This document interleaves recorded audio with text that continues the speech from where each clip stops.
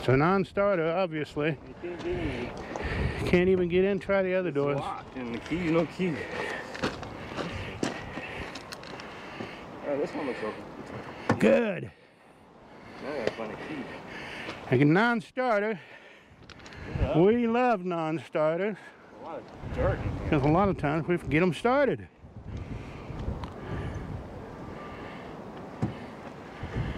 Looks like it might have just had a paint job on it.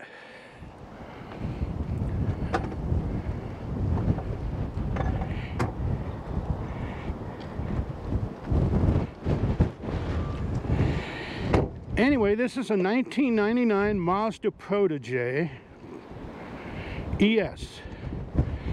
Lot number is 687965991. It doesn't show mileage because they don't have a key. It's got a Nevada's title, clean title. And that's about all it says for this one. No retail value. Just minor dents and scratches. So if we can get the thing started, this might be something worth getting. It's got a sunroof to it. Body looks pretty decent. Like I said, looks like it's had a paint job on it. Yeah, you can tell. Someone took apart the trunk. Took apart the trunk. Yeah, it's in pieces, everything. Oh my goodness. And, uh, and there's a back, it says back bumper right there. So I'm assuming they did work on this. That's why it's all torn You up. can tell it's been painted.